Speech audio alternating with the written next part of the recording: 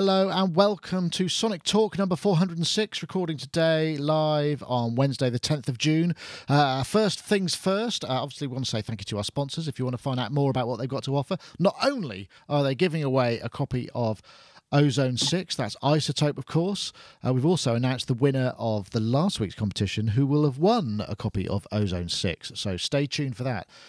excuse me, but I also want to say thank you ever so much to Dan, who's in the chat room, because uh, last week you may remember there were some issues with the chat room. We had a, a troublesome person, so we figured it was time to get serious, and Dan has made it all serious. You can now register your chat uh, nickname. You can come back and have it next week, and all of those good things. And uh, hopefully, anybody troublesome will be automatically kicked off by this uh, fabulous technology he's set up. So, thanks again, Dan, for that. And I'm just checking everything else is running because uh, when things go smoothly, I get a little nervous because quite often they they stop being uh, going well as soon as I say such things. So, first of all, I'm going to say hello to. I've got uh, three guests this week.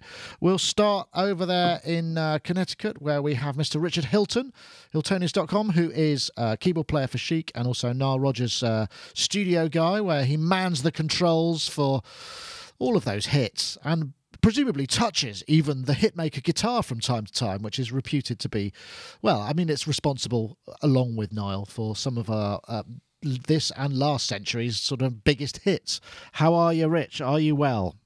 Yes, thank you. Very well. Excellent. And Rich, I know Rich has got a new setup today, which is why he's not on his usual microphone. So uh, if you're wondering why Rich is roomy, it's because he's on his laptop mic this week. But uh, it doesn't matter. It's what he says that counts, not how it sounds. Anyway, thank you very much, Rich. And we've also got over there in Bristol, Mr. Gaz Williams, over there in his bass garret, uh, where he uh, he's he's responsible for many uh, amazing tunes as well as uh, music technology, production, mastering, all kinds of stuff. GazWilliams.me. How are you, Gaz? Yeah, very good. A little bit fried after doing a load of rehearsals for uh, uh, Asteroid Deluxe. That's the space rock band I play in. We're doing a soundtrack for the Holy Mountain, a live soundtrack uh, at a festival, well, at Green Man Festival. I think I mentioned it last time, but we've been, um, oh, it's been beautiful weather, and we've been in a basement studio for uh, typical. But um, yes, that's coming on really good. In fact, we're playing in Bath on Friday. If anyone's around in the Royal Oak, ah. Uh, and we're going to preview some of these psychedelic weird things. So it's going to be quite interesting to do that. oh, I, I, I, might try and get down. I'm otherwise engaged on Friday, but I will try and get along if I can. That would be awesome. I th- oh, it's Saturday. It might be Saturday, but um, yeah. What I was going to say. Lots of synth action going on in the soundtracks. Ooh. So we got. um Are you going to be bringing uh, your entire sort of gadgety rig along with you to the to the pub? Mm, well, it's really takes such a long time to get it all set up. Um, but I was running um, the uh, Nektar as a controller keyboard, going into MIDI splitter into a StrikeFET and a Rocket.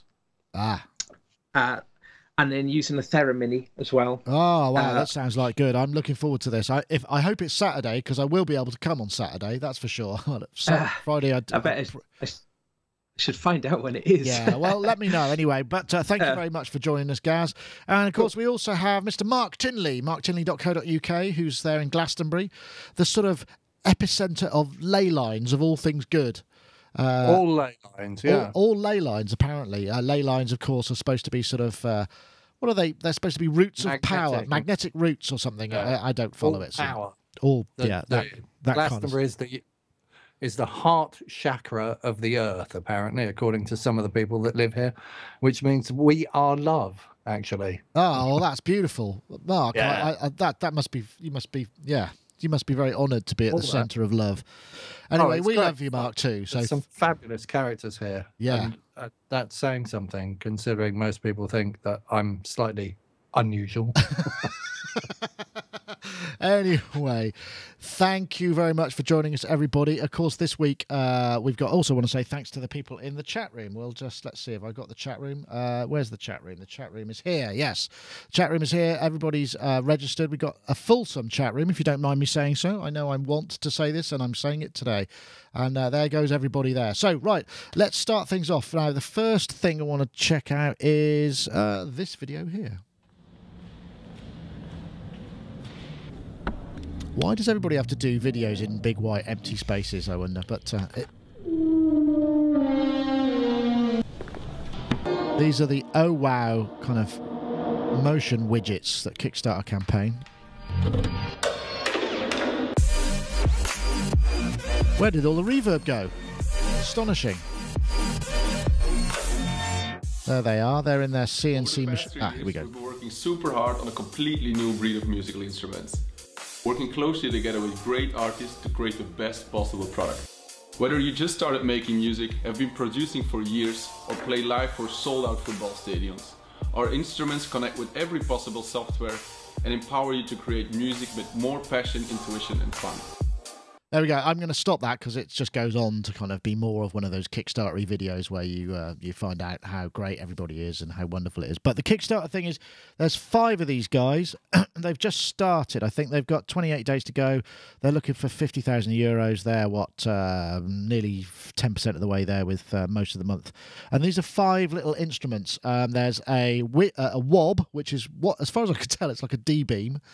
Then there's also a wiggle, which, as far as I can tell, is a bit like a kind of position sensor for um, like a, a, a Wii thing, so you can send axes. These have all got sort of modifiers, so you can change the behavior of them as well. So they are they're not just sort of simple circuits. And they and there's a drum, which is a couple more buttons, uh, and and I think you you you you shake it and it causes a drum, so it's quite similar to Wiggle, but it's got more buttons. And then there's pads, which are just four pads and a modifier.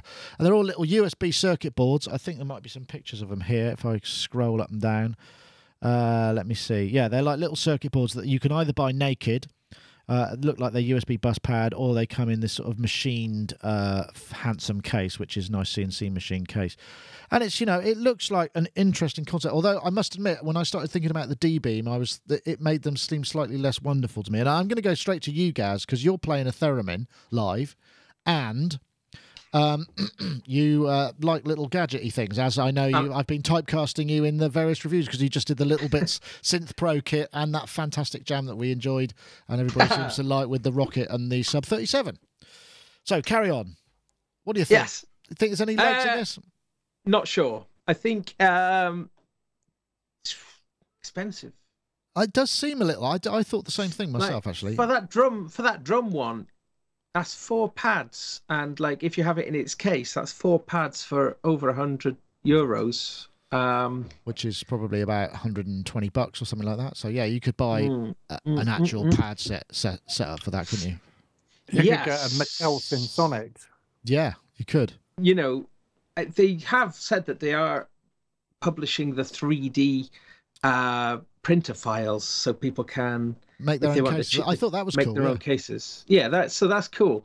But uh, you know, you sort of look at these things. Um, I think they might be perfect for some people. I think that they will probably be a little bit underutilized. I mean, like I've got the Leap Motion here, and I've tried many times to get it into my workflow, and I'm still struggling. I think it will come, but you know, similarly, you know, some of these things, you know, the idea of it's quite interesting, but you know. Well, actually, think about it. Isn't the Leap Motion under a hundred bucks? Yeah, it's about sixty-nine quid or something. So, and that's got really sort of multi-touch, multi-dimensional. I mean, again, it's quite yeah. hard to find a, a, use for it, but.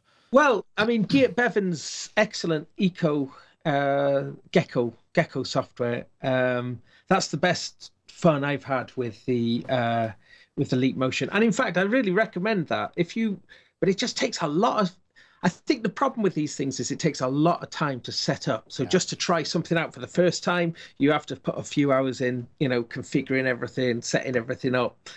Uh, so yeah, but once it's you know, and uh, but that, but sorry, coming back onto topic though. I mean, um, yes, I've got mixed feelings about these. I mean, I like the idea of the cheaper ones. Uh, they need to be cheaper, I think, don't they? I think that's my. I think that would be my concern. I think they're interesting-ish, but too expensive. Well, when you consider this is probably about ninety-nine quid, which is not far off the cost of the CNC machine thing, and this has got, you know, God knows how many controls. What's that thing? This is a Is Korg Korg? nanoKONTROL 2, which is what I run the show on. In fact, if you see, They're not us. 99 quid now. aren't they? You well, get one of them for 50, about 30 quid. Right, exactly. So it's kind of. I've got one of these. Uh, let me. Oh yeah, Nano. Uh, yes. Korg Nano Pad. I can't remember if it's the one or the two. So I've got an XY control. Yeah. Oh, can't do the specs for an XY controller and and uh, 16 pads on it. It's kind of like a TR505 with no drums in it. Yeah, actually, um, I think. An- And Andy it uh, cost me 20 quid off eBay. So Andy Keys, aka Synth Jam, Synth Jam on Instagram. If you follow him, he's got some great photos, and he's always first with stuff. Thirty-five quid, he says. So, yeah, they got a bit. It's a bit tough, isn't it? I would say. I don't know, Rich. We seem to have talked ourselves out of this. What do you think? Um, I'm waiting for somebody to get really good at these things, these Yeah. spatial controller uh, based designs. We've seen it in gloves, we've seen it on buttons, we've seen the D beam. Um, on some level, it does remind me of being it's kind of the D beam industry in standalone form, but uh, and there's nothing wrong with that. And I didn't even poo poo the D beam as much as many people did. But I'm just waiting to see somebody blow me away with something on one of these things, and I haven't seen that yet yeah, I. but thi- I hope they will, and I think it's a perfectly viable product idea. I agree with you that it's probably expensive as compared to a Korg nanoKONTROL like the one you held up, and uh, I wish them well. I want to see somebody rock one of these things. Yeah, I know. I. I would agree with that. I mean, I think uh, the other thing is, I mean, Roland must have like a warehouse full of D beams they haven't put in stuff yet. So you know, put that on a little circuit board, maybe on an Arduino or some other kind of thing, and you're you're kind of there, aren't you? In fact, uh, that reminds me, I got this. The Kickstarter, the MIDI widget thing came the other day. I'm still waiting for the connectors to show up, but uh, it showed up. Uh, I've got it here. This is the little board. This is essentially just a little USB board with, I think there are 20 or or more GPIO ports on it, and you can just program it to turn MIDI commands into stuff that happens electronically, and that's you know standalone, and that could do kind of a bunch of stuff, and that was only 50 bucks. But yeah, so I think. so the- do these Oh sorry. yeah, go. Uh, do these things actually make sound or they just no, they're just control? little USB controllers, I believe. Wow, so they are expensive then. Yeah. Are they and is it called ow ow or oh wow? Ah, that's a good point. Let's see. Does it have a way that you say it? If I scroll back to the top of this. Uh, Because if it's called oh wow, oh, well, wow. then That's, that's a oh, really wow. good- I'd say it's not wow, wow. It's oh, wow. it might be ow ow. Oh, yes, I see what you mean. Yeah. Maybe that's what happens if you use your own 3D laser print, 3D printer to cut the things out, and you don't file the edges down, and you just get, you know, it gets a bit sharp. Oh, that, but, but It's a speaking of that, I mean, uh, that- sorry, it's a it's a, it's a really good idea, but I can't see why it's like what's so different about it. They're sort of like saying, "Hey, we've got this brand new idea, and it's all really cool, and it's all, all really like different and everything." But what is different about it? It's if it's a MIDI controller. What? Why is it a brand new idea? It just looks like a D beam and a dr- uh, and a drum pad and a, a, a accelerometer. game maybe. controller. It's like Yeah, there is that. I think there's what is new? what is new. But as Rich says, you know, maybe we're waiting for someone to show us what's new about it. Maybe we're Hmm. just not the target for it. So Well, you know, what's new about it possibly is where it's using kick, you know, it's using like a it's the- crowdfunding thing, which is still quite a new thing. It's using 3D printing files as well, which is quite a new thing. Hmm. It's using lots of these technologies. God, we could be quite cynical, can't we? Yeah, as no, well, that- that many is ways? fair Stop this. That is I like the Bob thing. I like the fact that the the the D beam controller's thin enough to get underneath the strings of my guitar. So I Yes. did actually like That's look at that. one. that That's looks good one. nice. Yeah, that looks. Nice. Uh, One thing that is interesting, I don't know if I, I was in uh, when I was in Brussels the other day. I remember going past a like a print shop, um, which did you know like you get signage, business cards, but they also had 3D printers in there as well. So presumably you can go in with a file and come out with Really? Yeah, and I, I don't know if that's going to be coming to, you know, our side of the channel and other things. Boots, yeah, or one of the major store. But that's quite an interesting idea as well. But that that is rather a distraction and perhaps not anything to do with what we're talking about so much. But uh, okay, um, right. Well, I think it's probably time to uh, quickly just. Uh, well, no, we'll give it. We'll, we'll give it one more. Uh, we'll give it one more topic because we did start a little bit late. Uh, right. So this is the next one. This is the. Um, uh, yes, this is my rather uh, link bait. Uh, what Apple didn't tell us about iOS 9. Uh, of those perhaps who weren't aware, um, this Monday was the Apple Worldwide Developer Conference, where traditionally stuff is announced. I mean, it's supposed to be for coders and people who are developing for the Apple platforms, but it's tend to be used as a sort of way of announcing new technology rather than new hardware. They tend to announce new, uh, you know, OS and iOS nine, which is slated to be coming out in uh, the autumn. Uh, one of the uh, amongst the many things that it did. Um, uh, and the way that Apple are extremely good at making it seem like they're innovating when in fact, you know, we've been waiting eight years for a caps lock, uh, for a non cap letter keyboard on maybe iOS devices. They now do that. For instance, this was the inclusion. We've got audio units extensions. Which means that the audio units extension will work under iOS 9, and presumably the same or very similar code can be published to both platforms and then sold in the App Store. Now, you know, this it's it's a bit like sort of geekery and inside, but I think this actually might be quite interesting in terms of getting people to develop for the audio units format, uh, which, as we know, there are lots of competing formats. And because you essentially have a second platform when you're developing some of these things, I mean, obviously, there's going to be issues with the GUI and the sandboxing security and what have you. But the fact that you can sell it on the App Store and it will run perhaps on both platforms might encourage more people to do some cool stuff. I don't know. What do you think about this, guys?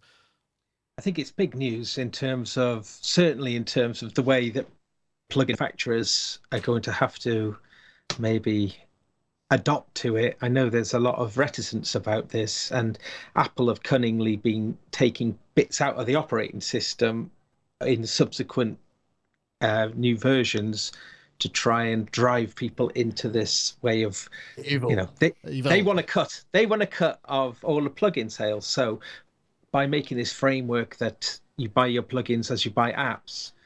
Now, that's I think is from the end user point of view, is actually really cool, isn't it? I mean, if your plugins, it's you know, it's all installed for you. You just click on a thing, updates. You get you just get a little reminder of. You just click, bang. You don't need to hunt around for files or do anything.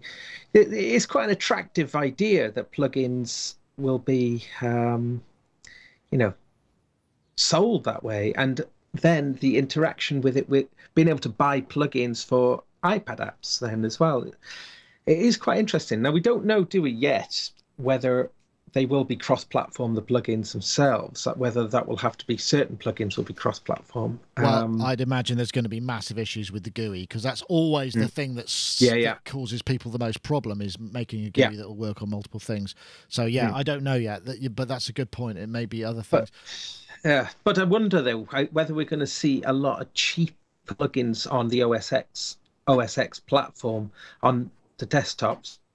You know, as a result of that, you know that you know uh, um, where price point of a regular plugin maybe 120 150 dollars maybe we'll be seeing app you know more like iOS prices of of apps. I don't know. I. I would imagine, and I would. I- It depends which way it goes. If you develop a desktop one and it goes to iOS, you could see that maybe being a, a- a USP, so it might be more. But if it's an iOS one that's going to desktop, it but might it's be less. it's getting increasingly hard to justify the price difference. So you know some of the, I, the iOS apps that are coming out. I mean, Arturia is a good one. Really, you know, there's a disparity between the price point of their uh, iOS, you know, instruments to the desktop Hmm. instruments. So Same I with, do um, wonder we will see some more parity. I think. Maybe so. Rich, you look like you're keen to jump in here. I mean, do you think it's going to be of, of some use? I mean, it, I, hopefully, I think it's more of a maybe more of a big thing for developers, possibly. I don't know. I do think it's going to be of some use, although it may take a little time to see how it plays out. And I don't think anybody can really blame them for wanting to sell their AU package into their mobile devices, since mobile devices are their most profitable market. And as to the cost of the same software in various platforms, we're watching that also play out in Reason because a lot of guys who are previously writing software for VST, AU, and whatever, you know, RTAS or now AAX, are um, now porting that stuff into a Reason uh, platform and selling it at a different price point than they sell it to the other people. So it's there's already some precedent for this here, and I would not expect to have to pay $99 for an Echo plugin to run on my um, iPad. Yeah. I just I just wouldn't expect to have to do that. Whereas to, if it's really good and I want to buy it for, you know, my my DAW on a laptop or on a desktop computer, then I understand and that makes sense within the price structure of the product itself. Yeah, I think that's. I, so I think what Gaz was saying, is we may well end up in a situation where things become more even. But again, I don't know, Mark. I mean, I, yeah, well, that would be all right too. Yeah, that would be cool. I mean, I, th- I think Yeah, but the price the price differences are so like wildly different, aren't they? Like Waldorf's Nave as a as an iOS app is about nineteen dollars or something, but if you buy it as a plugin, it's a hundred and hundred and fifty. well, it's multiple. Euro? For, yeah, it's multiple formats. So you get VST, But it's the same thing, isn't it? Well, I mean, it's effectively the yes, same synthesizer. yeah, but, so it must be pretty much the same. Might code. I guess. Yeah. It doesn't do anything different, does it? No, I No. suppose. I suppose That's, that's, the bottom line. It's an advanced wavetable synthesizer. One of yeah, I'm looking at it now. One of them's 149, 149 euros for the VST, or 19, which is probably the same in euros for the iOS. It doesn't make sense. Uh, uh, I'm uh, wondering, oh. Mark, whether perhaps your uh, somebody in your in your neighbourhood is is downloading massive amounts of data because you just went a bit blocky and uh, your audio dropped out a little bit. But I, I Oh, maybe it's me. Hang on. oh, what you? I opened iTunes and it decided it was going to do something. That's what's Oh. happened. What's Yeah. that? What's that that Pardon Rich has got there? What was that, Rich? It was just an OS update in my. Uh, Ah, gotcha. What are you doing? OS? OS? No, you can't be no, doing can't, not, not OS nine. nine, unless you're on the beta. I- What were we talking about? Because I got completely distracted by the price I'm difference. What was the what was the what well, it's was just the, topic? advantages. Tell I suppose. The, the- I suppose the Oh, advantages. AU, yes. AU in good uh, mobile devices. What will happen is this. This is my prediction. They will both be the same. So we'll have AU plugins on the computer and AU plugins on the iPad. They'll develop for both platforms.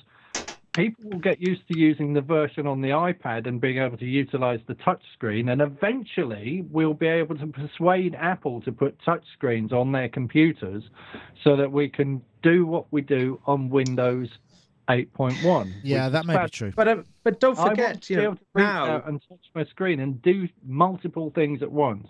And I find when I'm working on the Mac, I'm I'm really kind of forced to. let me in let me cut in let, let me let me cut in so the thing Yeah. though now you know we can with the latest operating system updates with ios now there's there's a there is software like AudioMux and um, Music IO which is allowing our devices our ios devices to be uh, aggregated within Yeah, the within the o- system. o- Yeah. OS Yeah, sure. X. So so then those plugins, you know, having your touchscreen on your lap makes a lot more sense than reaching over to the screen for, for touching. So being able to actually have your plugins as modular things that you touch and have it in your hand, but it's you know coming out on your DAW on your main screen is now. We have that now, and you know that's pretty Oh, sure. cool. You know, it's pretty cool. Yeah, We're but sort of- a- we're, we're not Oh. kind of grabbing this a little bit though. We're kind of like still looking forward. What's you know, it's like, but it's this is a pretty big thing now, and it wasn't available okay, a but couple then of so months why ago. would I go? why am I going to go and buy the Nave Advanced Wavetable Synthesizer Yeah, as a good point. VST because Yeah, I've got more functionality if I buy it as an Yeah. iOS. I I- mean, I, I guess, guess I've got to take into consideration the cost of a fast iPad. Well, more Um, uh, okay. Let me put it this way. I mean, without getting too down the rabbit rabbit hole, you know, if you buy it for uh, uh, uh, AU or VST or AX or whatever, you can run multiple instances of it. On an iPad, you've only got room for one. You know, that's basically Okay. that. That I mean, that that justifies a certain amount of price change as well. I think, and that's fair enough. And and mm-hmm. also, you know, speaking if if if I were to represent the developer voice, they might say, well, yeah, but do you know how much work goes into creating the other versions? You know, it's not. It may look the same, but under the hood, there are lots of different things happening. So, I mean, maybe the fact that we've now got this AU thing across two of the platforms, that at least would somehow make it a little less work. I don't, for one instance, think it's just like I've made a plugin and now it's on the iPad. I mean, I'm sure there's an awful lot more to it than that because you've got different graphics routines and libraries and all that other stuff. But I don't want to get too into it. But, but you know, hopefully it'll mean it'll encourage people to innovate, continue to innovate, and it means that they've got kind of one uniformed way of representing that across both platforms in one go. Ish. Um, Ish. I- ha- do, do we know is AU a frozen platform? I mean, because VST is continuing to develop, and you know, obviously VST three with its note expression, you know, is is is a huge thing, and Yeah, it, that's, that's something that AU don't do. Do we know if is there is there a roadmap of of AU?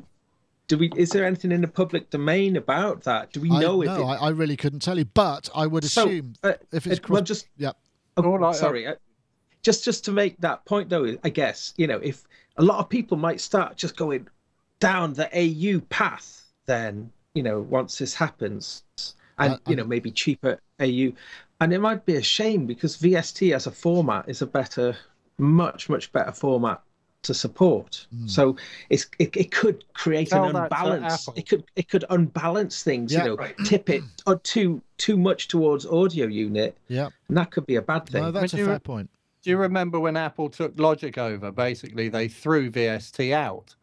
So earlier instances of Logic supported VST right up until version six, I think. And at version six, they threw VST out. So I think that was an oversight on their part. And they obviously did it so that they could push their audio units forward. Mm. But I agree with you. I think VST as a format, having moved from VST to VST2 and through VST3 and continuing to evolve, is is a much more uh, viable proposition for people to write for than AU. I, AU seems to.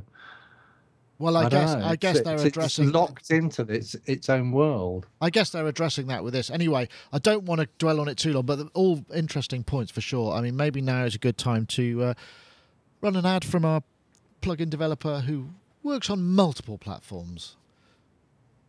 If I can get it to play. Of course I will. Except this one. There we are. Ozone 6.1, of course, from iZotope. Uh, basically, it's the de facto mastering setup for many people. It covers an awful lot of processes in the mastering and also track processing. Equalizer, dynamics, maximizer, exciter, imager, post equalizer, dither, and dynamic EQ, which uh, is very happening, but that's only on the advanced version. You can harness the tonic, sonic texture of analog gear, uh, but with digital control. Make smarter mix decisions, aided by robust real time visual feedback throughout all the modules, and quickly achieve authentic sounds for any genre. If you want to try out iZotope Ozone 6, izotope.com forward slash ozone is will get you a 10 day demo and you can check it out there. And of course, uh, we do have a competition, but first we should just. Uh, tell you the winner of last week's competition. The competition requires you to be on Twitter, um, which is a very painless process, and it's worth uh, just just if you're not on, it's worth it just for a quick uh, a quick punt at this. And we have a winner from last week, and it's he's called Fabio Di Mauro, and his. Uh, Twitter handle is at synapsis sys, and he tweeted mightier the hashtag mightier mixes and ozone six to at Sonic State and at iZotope Inc. So uh, Fabio, if you would like to get in touch, the iZotope Fairy will bestow a copy of Ozone Six to your email address, and we have a. Um, a winner this week, a, a competition this week as well. iZotope, uh, because they're sponsoring the show, they're also allowing us to give away yet another copy. So, what you need to do if you're on Twitter, you just uh, tweet the hashtag mix to the max, ozone six, uh, to at Sonic State and at iZotope Inc. So, if you were listening on audio, that's the hashtag mix to the max and the hashtag ozone six, uh, letter six, to at Sonic State and at iZotope Inc. with a Z. Uh, there's also 140 characters, as we know, in uh, uh, Twitter, so you can add some additional stuff in there. We do read it. I know iZotope 2, they monitor it well, so please do. And we want to say thank you very much to iZotope for sponsoring the show. It's been uh, a great pleasure to have you on. Not that they're going anywhere, I hope, but uh, anyway, if you want to win it, check it out. So that's it for the iZotope slot. Right, so let me just get back to my notes. Um, right. Ah, here we go.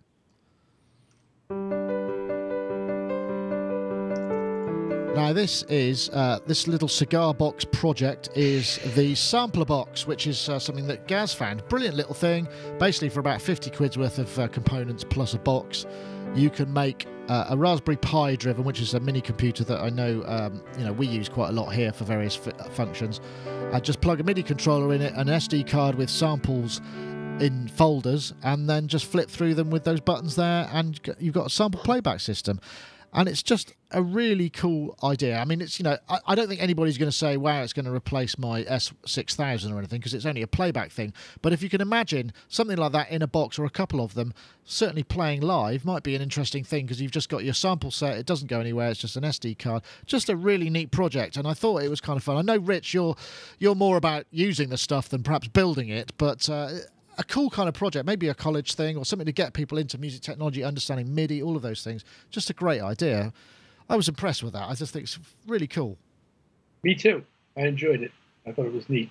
And uh, that that I think it was just playing back those samples there. I don't think it's got any kind of synthesis capabilities, but I'm sure that's something you could perhaps add to it. You know, once you got into it. I think I've got the website here. It's samplerbox.org, and um, it's just a kind of nice little kind of back of the napkin kind of diagram. You can download.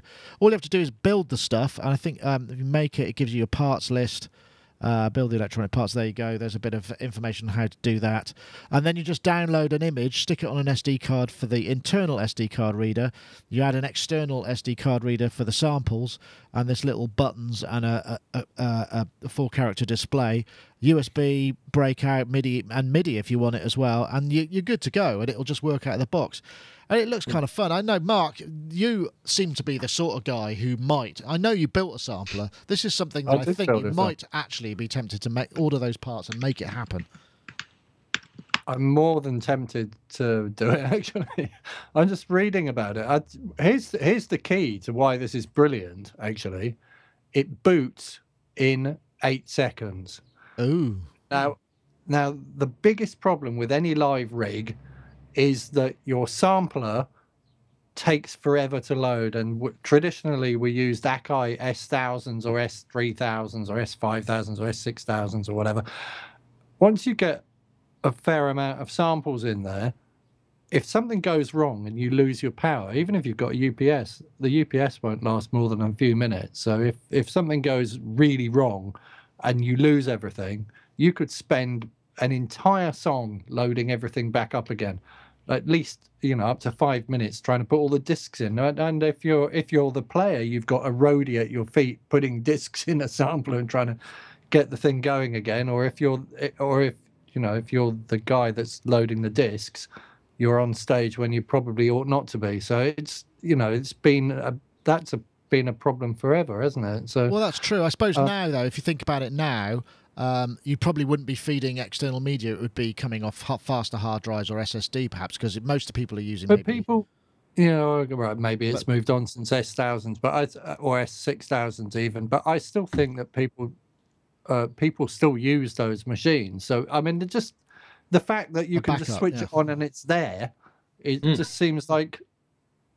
For me, it's like, oh wow, this is like know, I want. I, well, I'd be interested. It, it, it, doesn't. It, doesn't say really what the cool. load the load time is or anything on any of the sample sets or what the emotional memory is. Uh, no, not Rich. I saw you nodding there when Rich when uh, Mark was talking about you know if you've got to reload it all. Could be a yeah. cool. Could be a cool kind of backup thing for maybe a mid, uh, low end gig. I mean, you probably wouldn't want to do it if you're playing chic gigs, for instance, just in case. But uh, it could be useful for some stuff, right? Well, yes. And while I don't have a cigar box, I do play a keyboard that allows sample playback on the bottom octave of the keys from a USB drive, and I use that. Right. Is that the? So it's the... really not any different. Ultimately, that function of this particular keyboard is really no different from what that box is doing. Ultimately. Yeah, that's true. I suppose. I guess the Except thing it's doing it across a fuller range. I mean, this is allocating some keys for triggering, but it's but if you can put an SD card in this, then presumably you can put large capacity SD cards in it. You can put like a huge load of samples in, couldn't you?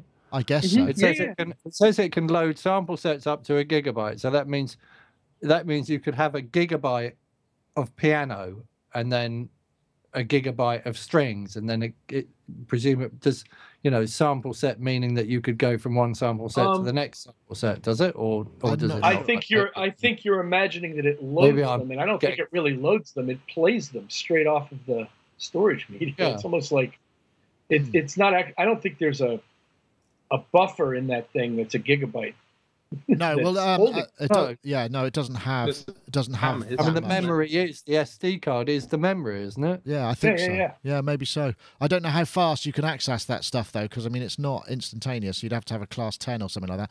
I know, Gaz. It's something I, I, I'm guessing. I Hmm. could see next to your Volca sample something for those really long form loop triggers and stuff like that. And I don't know how much you can actually change the behavior of those things, whether you can have one shots or you know that kind of stuff.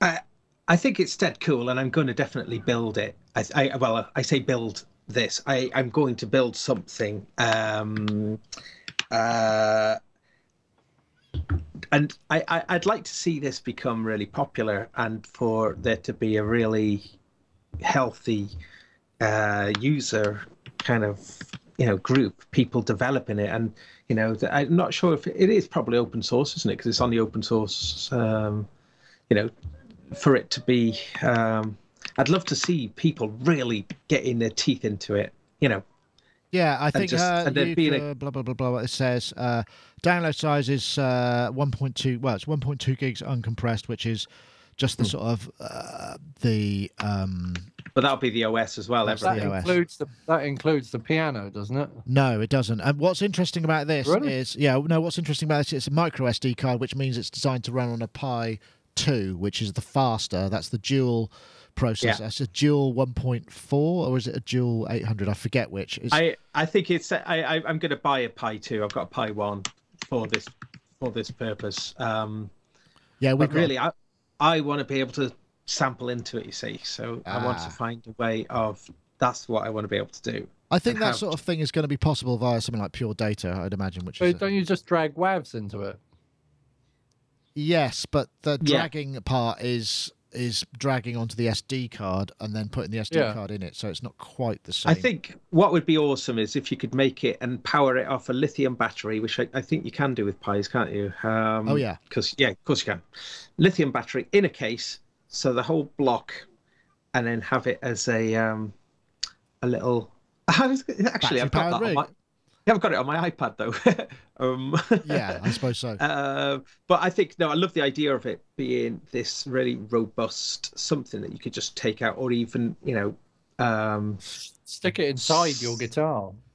oh yeah, yeah, yeah. Interesting. I will say Yeah. one thing uh, against the pies, though. The only thing that it, there is an issue if you don't shut them down correctly.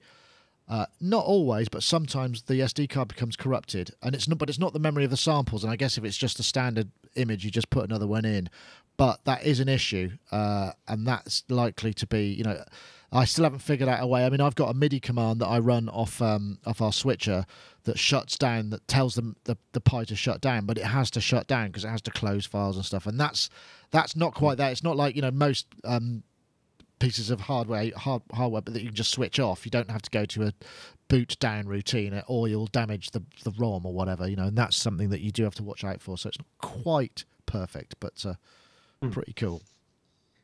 Is that the same with the Pi 2? Is it? Is yeah, it- yeah, that- you've got to. I, I mean, there are ways to do it, um, but you ha- it, it, it, it is essentially a computer and it has to shut down. There may be a, a more efficient shutdown routine because obviously, if you're not using networks and Yeah. Other interfaces, which I'm Ah, guessing, then it I really want this community to develop. I Yeah. mean, open source can be just the most powerful, galvanizing, you know, brilliant thing. So I want to get involved. Yeah, definitely. Oh, I think that something. I think something might be happening in the chat room. Somebody's saying that uh, we've had somebody booted off who's uh, who's been causing trouble. I don't know whether it was an auto boot because of the chat room now. Just to go back into uh, chat room dullness, um, if you're interested, there's now a bot that basically looks after the chat room, which is called Sonic State, and it, it'll do things like if you type in all caps, it says you're not supposed to do that, and if you do it loads of times after it says please don't do that, it'll kick you off, and there's various other things it'll do. So um, yes, watch out. Anyway, um, but it's better than having somebody posting paragraphs and paragraphs of random crap in the chat room and, and dis- disrupting the flow of conversation. But as you can see, it's clean as a whistle. We have lots of people in there, and uh, it's all going fabulously. Right, let's get on to another one. This, oh, I love this. This sounds awesome.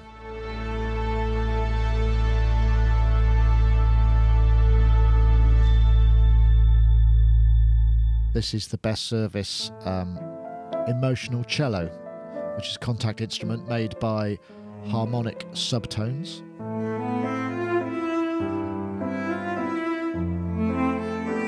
And it if you check out some of the demos on the site, it sounds absolutely gorgeous and really unusual and interesting, and all the sort of bowing key switches, if you're so inclined, you could make this the kind of front and center in a production. It's a lovely sounding thing.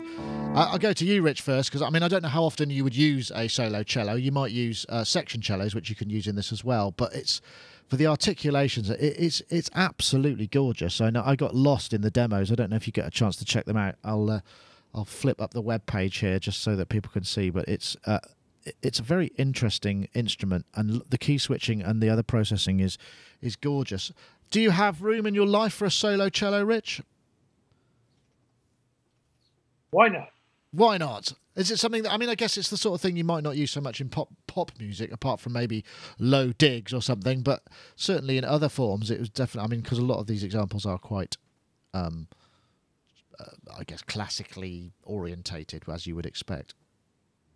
Well, it's a classical instrument. Yeah. There are a finite number of articulations that you're going to have to go after, and they went after seemingly all of them. Um, and it was really, really well scripted and uh, very nice looking and very nice sounding, and uh, some of the nicest scripting I've seen. Uh, it's up there with some of Scarby's best work. It's really, really fine, and uh, it also shows off how well Kontakt is uh, designed to allow this sort of thing to happen. But um, sounded fantastic. I loved it. Why the heck not? Yeah, absolutely. And I think um, the uh, just a quick bit of uh, specs. Uh, it's a Kontakt instrument. Uh, it's about five gigs. Uh, runs as native AX. Obviously, the Kontakt engine. I think you need uh, five point five and above. Um, the thing that really struck me, I don't know if any of you guys have got a need for a cello. What about you guys? I mean, I guess one might. By the time it takes you to play the articulations as fluently as the person who was demoing it, you might have actually either learnt to play the cello or phoned someone who can do it for you.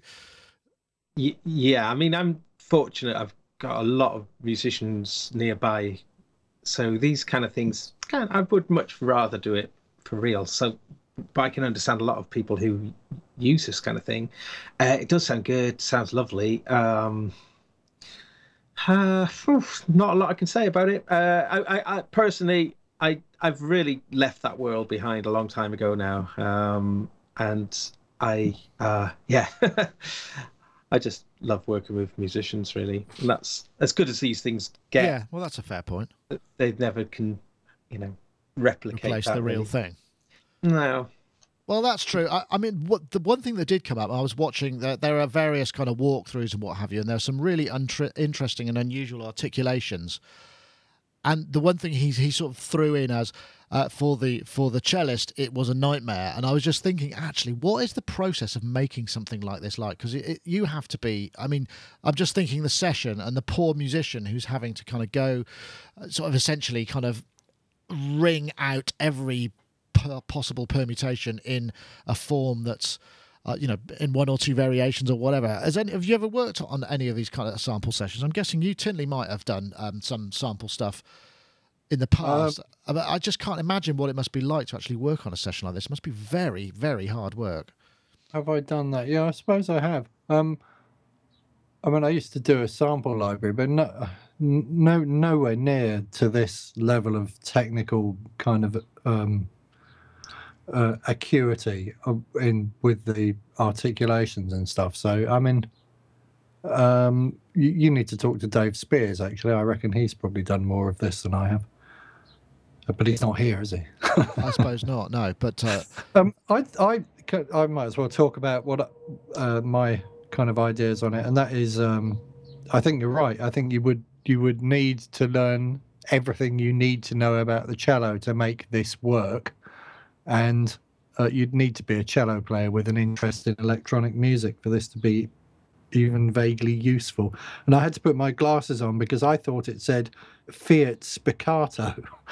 And it actually says fast spiccato, doesn't it? So I, I don't know what half those things mean as musical things. I'm not even sure if I know what piano means really. I think does it mean quiet or Yes. loud? quite Yes, quiet Well, in that context. it yeah. would it would mean that So, so I mean, I don't know. I, if I plug the electric guitar in or my MIDI guitar and and the velocity crossovers or anything uh, uh, worked in an interesting way with my guitar, and I could make it sound like somebody doing something supernatural on a cello, which is kind of what would end up happening, I suppose. Mm. And then uh, not just make it sound like somebody doing something supernatural on a cello, but make it sound like something supernatural but good, because quite often those things don't sound good. So if it if it suddenly had this, you know, it did something amazing, then I would be interested in it. Hmm. Um, I mean, the thing I'm trying to replicate at the moment. Do you know what a sarangi is? Um, Uh, it's a, an Indian stringed instrument, which is very similar. Uh, it's like it, it, it its articulations are very similar to a cello, but then also it sounds like the human voice, the way it bends uh, notes and stuff. Like it sounds like an Indian singer, but it also sounds a bit like a, a string, like a viola or cello. I'm trying to like cr- recreate one of those electronically, and I actually came to the conclusion that it would be much simpler to get hold of a sarangi and learn to play it. And to learn to do the articulation. It's trying to trying to replicate it. It's just Uh, it- you know. Yeah, I guess so.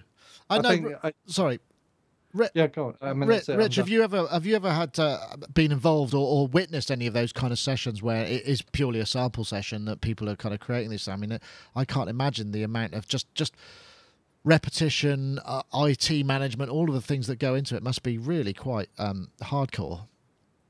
Well, I've never participated in it myself, Ah, okay. but I have spent a lot of time talking about it with Thomas uh, Scardy, who does a lot of this sort of thing, and uh, it's as grueling as you imagine it to be. I can and imagine. then some, and then some. In his case, he he's a guy who will get three quarters of the way through the project, figure out something that makes it all better, and start over. oh, Brilliant. man. That's who he is. That's the kind of guy Thomas is. And, yeah, but that's uh, what I makes the admire- product so good. Yes, yes, it is. And and this guy, I suspect this guy who's made this cello is in that same sort of league. Um, I don't know him. I've never met him. I've only heard his cello, just like you. But it's pretty impressive It is. uh, thought and recording and scripting, and the, the interface is cool, and it kind of makes sense. And if you actually learn those left hand, that bottom octave, it would, you know, it would, you could become very expressive with something like that. You'd have to practice it. Uh, You'd have to know what cellos do. You don't have to be a cello player any more than That's I'm a great kit drummer when I'm pl- programming kit drums to sound real. yeah. I just know what drummers do. I can't actually do it in any serious Yeah, that's way. a good point. That's a good point. I'd just like to say in the chat room, uh, Trill uh, Tribix in the chat room said uh, my last album had samples in it, sample horns in it. I hated them so much I've taken to learning the sax, which is actually right. Well, You know, that's not a bad a bad concept there. horns horns could do it to you. That's that's the toughest thing to present in any way other than with the real thing, in my opinion. The toughest thing. They all they always end up sounding like those uh, those awful gated toms uh, that you used to get in sample libraries. That that not uh, not sound like that, but that sampled horns just have that you know they're very hard to get articulations right. I think The unless they're slow. breathing, the, the breathing is so crucial to the sound, and the variations in the breathing is the only people I know who even get close use breath controllers. Yes, I think that's a very good point. In fact, I, I seem to recall there was um, there was an instrument. It was a a, a, a trumpet or something like that that was either on an iOS device or it had a. a a, a breath component to it, and it sounded it, the artic. It was a physical modelling thing. The articulation was awesome, and it really did. Certainly in solo form. I mean, I don't know what it was like Well, in section. Even, isn't it ThumbJam that allows you to breathe in? Gaz Hmm. would know this, right?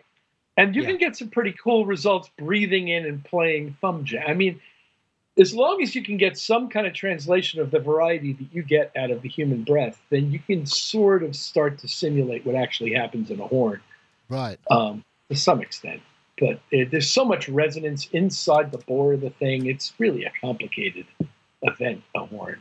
Yeah, and also you get those very complicated things you have to do with your mouth as well, which are very, you know, I mean, they're, they're very articulate things.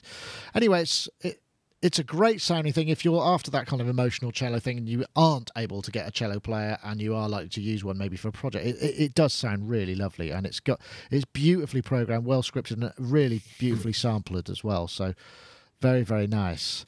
Um, right, I'm going to go to this last the, the, some beta topics, and I, I, while I was researching this, I found just this great video of something that I really did not know you could do with Reason and the suite of apps. This is this kind of blew my mind a little bit. So this is um, the new uh, Collaborate, basically. That you, as we know, uh, Propellerheads created uh, Figure, which is like a little multi-track synth kind of widget for the iOS stuff, and um, so here's uh, somebody in Tokyo just doing something on figure, you know, just coming up with a little line. And the beauty of this is, is then you can just share it directly to this new um, collaborate. There we go, sharing, and then somebody else is going to pick it up via the sharing website, which I think I've got a copy of it here. It's Discover, not Collaborate. That's what I. Open it directly in Reason with all the tempo stuff, add to it, share that, somebody else can collab. And it just, and then the, I mean, I won't go into it, but basically the end of the story is the person in Tokyo went to bed at half, half 11, did that on the, on the way home. The next morning, when they're having a coffee at a break from work, they get a notification saying, "Oh, someone's done something," and there's this kind of fully formed track with uh, um, with vocals and what have you. Because uh, I think the other the other uh, app that they've got is Take, which allows you just to overdub and then share that back, and it just looked really really cool from collaborative. Because guys we've been talking about the whole notion of the steinberg vst connect plugin and real-time stuff. This seems like a really good alternative in just in terms of throwing an idea down on the bus. You know there's there's obviously a lot of dross out there as well but some of it's great. Have you experienced this? I've had a little go of it. I mean um, I I just find that like figure is just way too, um, just just you know it, it's there's just not enough options in it. I think you do, you just everything that you do just sounds really nice, but um, so that for me that's the kind of flaw in it really. Uh, although I mean, and the the take thing as well is just, just a bit too simplistic. The technology and the thing is great, and I guess with reason um, you can do it with reason out to it though can't you from reason uh, yes i think so yeah you can you can mm. squirt out reason stuff as well yeah so reason to reason you can do it that way i believe so yeah in fact okay. if we go to the uh, the uh, discover there's all of these you know they're basically they're, these are reason that's projects. what they yeah these are you, takes uh, mm-hmm. if we go down these are some um, just and you could just check them out and go you know, listen to that. Maybe I, I guess if you click on it, I don't know, you could then just download, open it in Figure or Reason or Take. I guess it's cross. I, mean, I just can't understand why anyone would want to go and look at something that someone else has done on Figure, for instance, because anyone, like you know, like a giraffe, could probably knock out something quite good on it. That's a cool. And, uh, Even giraffes can make music. but I mean, you know, that's the thing. Why? So that's what gets me a little bit. It's like, why would you want to go and do that, it's much more fun to maybe do it yourself because it's not as though they're going to do something particularly unique because you can't. It's quite limited what you can do on oh, it. is it? Okay. I haven't played that's, it for a long that's, time. That's my that's my feeling.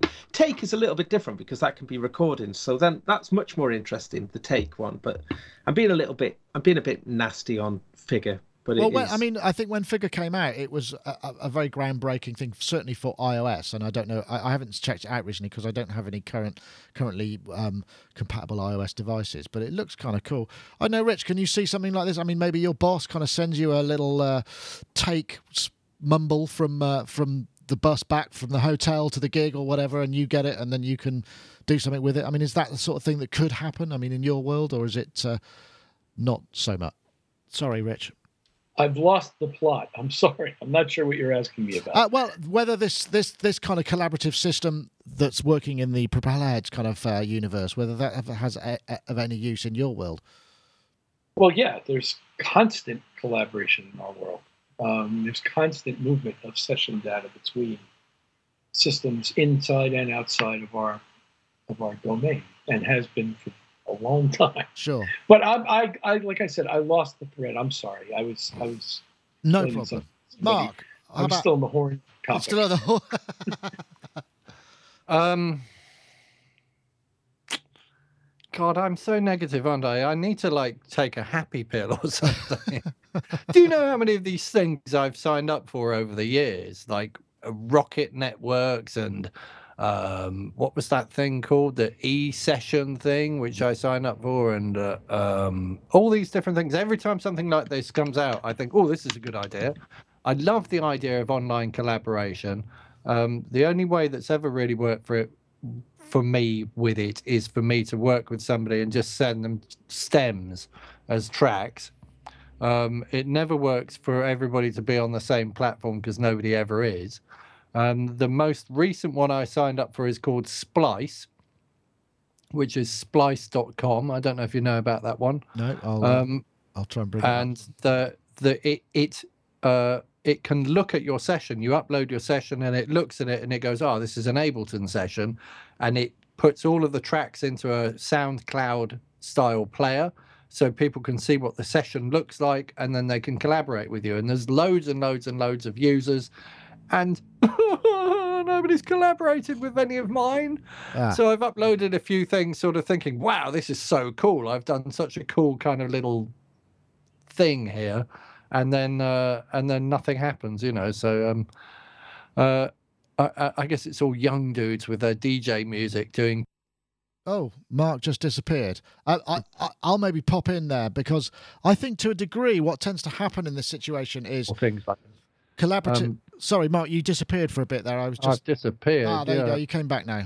I, I, take your point. I take your point. I was just going to say the thing about those those kind of situations. What tends to happen, I, in my experience, is if you throw something up there that uh, shows a level of professionality or ability, because a lot of people that join these things might be kind of really beginning out and might think, oh, actually, I don't want to. I don't. I don't want to look bad. I don't want to. This person would never want to work with me, for instance. You know, you you get an element of se- no, but you get a, an element of self filtering and those kind of things. And then maybe the professional people might be using it for different purposes, not looking for random collaborators, but collaborators that they I maybe think, already work in. I think the professional people, people like me who've been making music professionally and working with other people professionally for like 30 years this year, it'll be right?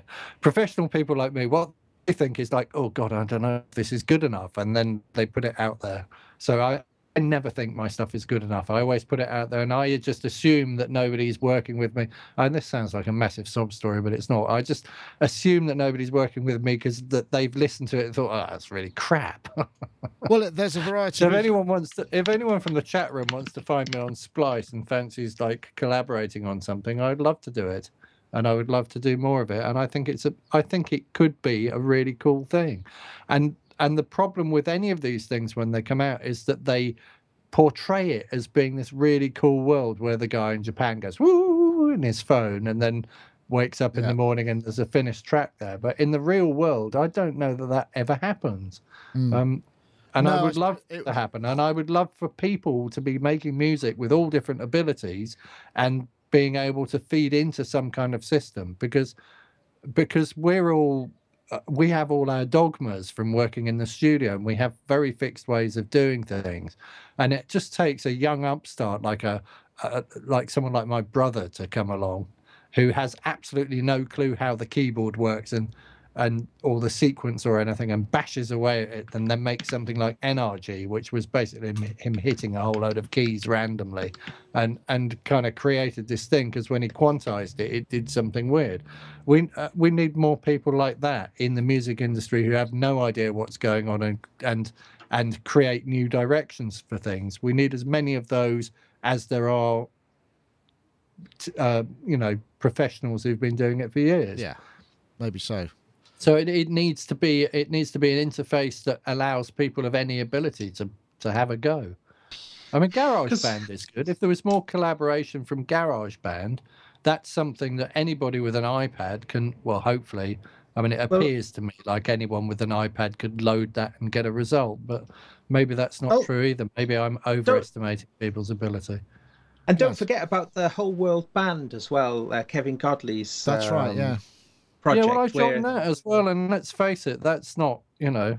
The, the the problem with that is you actually have to be a musician and you have to be able to play in real time and you have to be able to go on there and record your part in in a take and and I'm not sure Hmm. that everyone's capable of doing. Uh, you know, I'm a I'm supposed to be a professional musician, and I'm I'm scared of doing that because I'm thinking, oh God, and you know, again, am I good enough? Is is what I'm going to put out there going to be sort of but you can, you could, you could cobble together takes and then just do a, you know, do a performance and then edit the performance with whole wide world with whole world, whole world band. Oh, they you? added editing in now. That it wasn't in there No. when I tried it. No, but no, what I mean is you would do it. Um,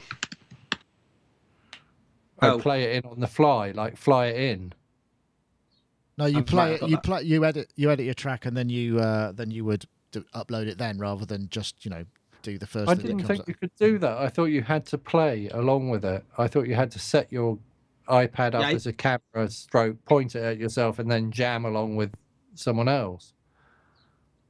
Hmm, Uh, I'm not sure, Gaz. oh, maybe, yeah, sorry, I think you're right. Actually, Maybe I you're right. I'm- Maybe you're right. I, anyway, um, the, the just we just did have a little visitation from a spammer, and the bot seems to be Which, uh, which of course, of it- which of rid of course makes a mockery of all of their promotional videos because everyone on there has clearly recorded their parts in the studio and then created these kind of starter multi-track packs for other people to come along and work with, which means that people like that Rolling Stone geezer, whose name I've completely forgotten, who's Keith. on it Uh, looks amazing on there and you like go yeah wow he looks really cool.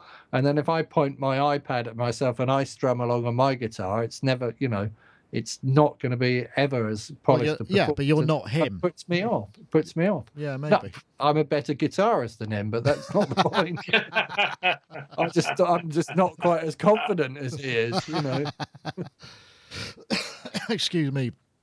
Well, it's I, I just kind of thought it was cool, and I thought, well, actually, you know, maybe you're right though, Gaz. If if Figure had a little bit more musical kind of uh, um, capabilities, you know, as as Take does, but I it's an interesting idea rather than this notion of real time collaboration. It just makes it easier from a suite of apps that anybody who's involved can just do that. I just it's a sort of different take on the whole thing, and I quite like.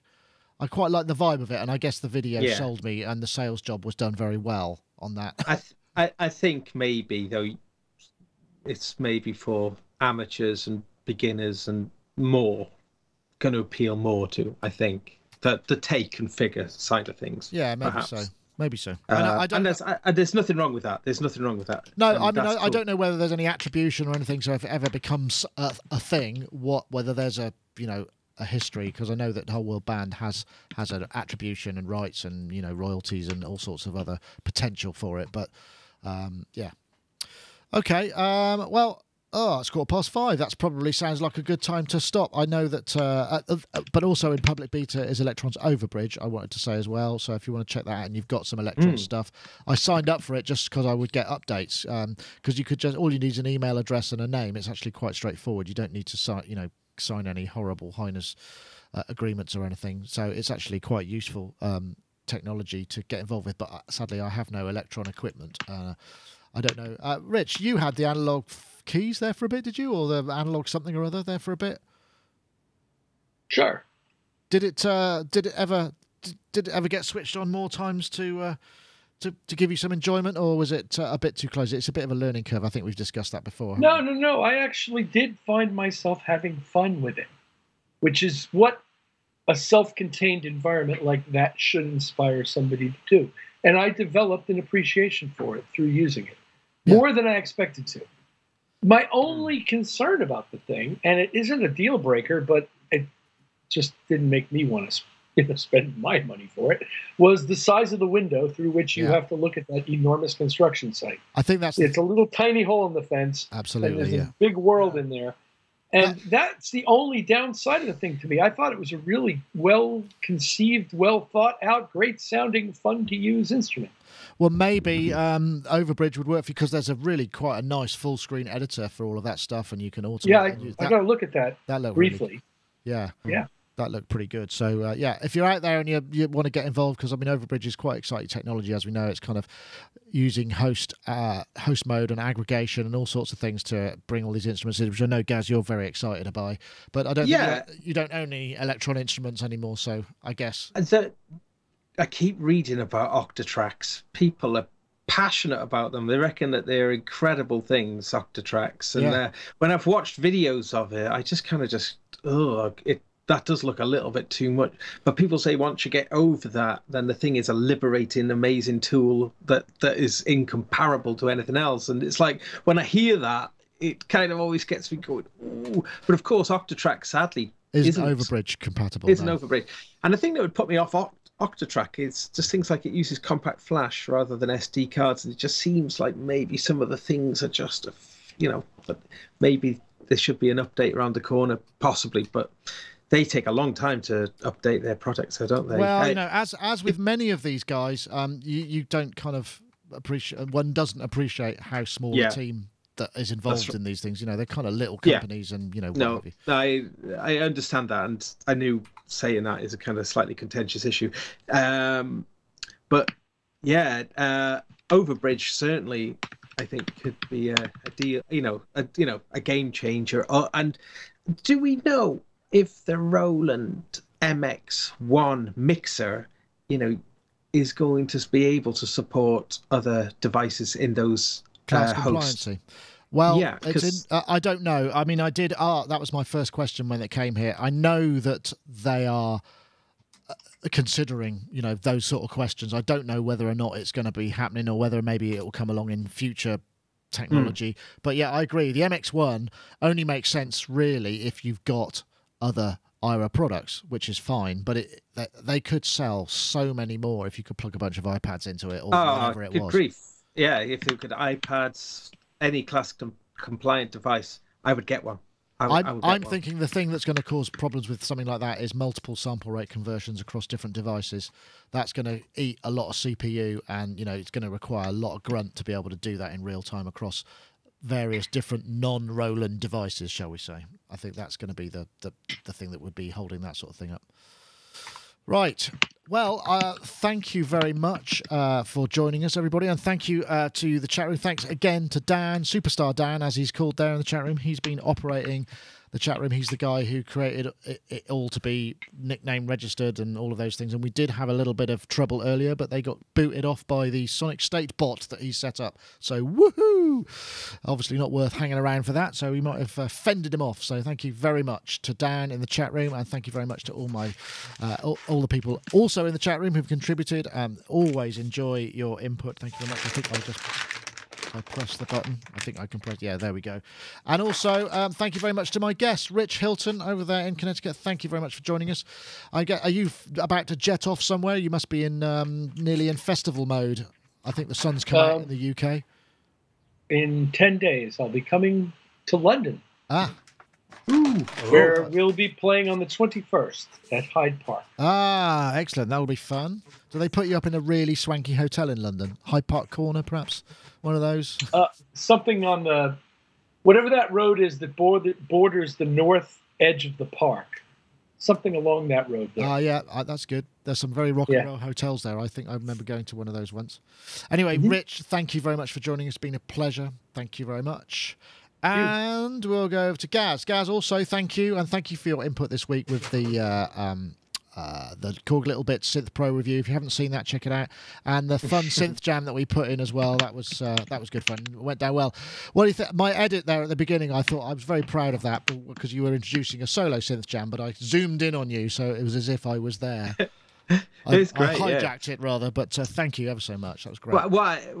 But have you noticed what people are saying, Nick?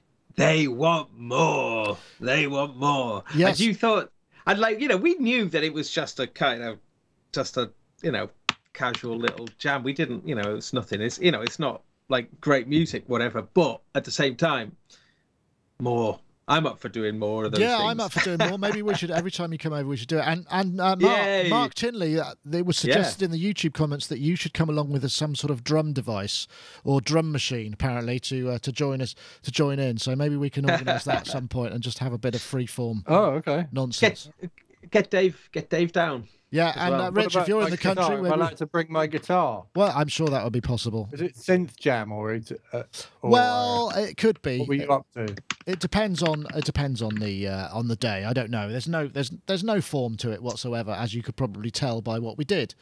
Because what I have to do when we're doing that, that because I was um, filming Gaz doing his review when I and it was just me and him here. What I have, I've got this little shot sequencer that just runs, and we just I just join the shot, and then it just randomly switches cameras all over the place. But it seemed to work all right this time. I Where- thought, it I thought, Does anyone thought it want to play Glastonbury? me, I'm playing There's Glastonbury a fringe Well, uh, festival. at the same at the same time as the um at the same time as the Glastonbury Festival. There is a fringe festival in Glastonbury town itself, Oh, cool. and uh, we're looking for people to play here. So What, if uh, anybody wants at- to play at the same- Glastonbury, Ah, go on. I wonder. Yeah, so I'm at the playing- same time, there's a marquee in the middle of the town, or there's various different venues around Glastonbury. Any um, any gigs on the Friday night? Oh, I don't know. I I I'm I've got a- I've been I'm asked to help find people to play, so I don't know who's playing. I'm playing at the main festival uh, with this new Afrobeat band called Matuki, and oh, yeah. uh, interesting. it's oh, it's cool. It's really good. Um, uh, very very funky. It's good. It's good for me. I get to play like the most ah.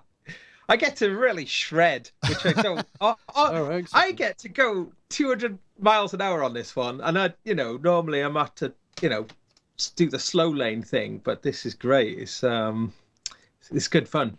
But we're playing on the Sunday, so if anyone's at Glastonbury, Sunday 12:30, it, well, in the afternoon, Glade stage, Matuki, right? or 12:30 six afternoon. six thirty in the Avalon Cafe. as Excellent. Well, I think we've got another show or two before then, but uh, I, I guess I should wrap up now because that's probably it for this week. But thank you very much. I think I think I was wrapping up, and then we kind of veered off, which is absolutely fine. but uh, thank you very much, everybody, uh, for joining us. I think I said goodbye to you, Gaz, as well, and Mark and Rich. Thank you all, and also. As we say, the chat room and uh, superstar Dan for sorting it all out. Thank you very much. You didn't say goodbye to me, actually. Did I not? So- Ah, sorry, Mate, Mark. I was going to get into some whole religious connotation here because I decided now in the chat room that we all have crosses. So we're all in this kind of cult, and the, you're at the top, and you've got a sign. So we're all going like, "Hey Nick, show me a sign," and you're like showing the sign, and we're all like, Right. I'm not Oh, sure. and I was going to say about Hyde Park as well. I was also going to say that I once had a bit of an accident with a chemical substance in Hyde Park. and I went into Hyde Park with this girl that I was going out with at a time. And we sat near this huge lake, and there were all these swans on the lake. And I found this wallet. And I thought, God, it's got money in it. So I took the money out and I threw the wallet in the lake. Uh, and I so I stole this guy's money. But what I Oh. didn't realize was I was the guy whose money I was stealing, and I threw my driver's license in the lake. So how- how ridiculous is that? the next day I was like, I've lost my wallet, and then I was like, Where's all this money come from? And then I, it me a Oh, week to awesome. out. The benefits of uh, loss of short-term memory in, in many ways. That's brilliant. What a great story to end on, Mark. Fantastic. Well, thank you very much for that. Thank you very much, Mark. Goodbye. And thank you, Rich. And thank you, Gaz. That's it for this week. And uh, it's a wrap. So I'm going to fade to black and we'll call it a day.